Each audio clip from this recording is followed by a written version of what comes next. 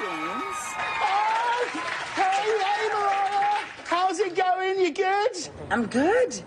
I am so excited to be part of your 1000th episode. Uh huh. Yeah. You guys can stand up.